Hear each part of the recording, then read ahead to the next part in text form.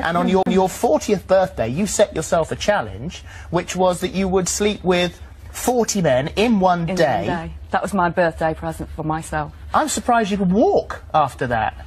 Bit of a sore back, but no, it's fine. And and you, did you did did you did you afterwards think you know what what, what am I doing? No. No. I had the most fantastic day.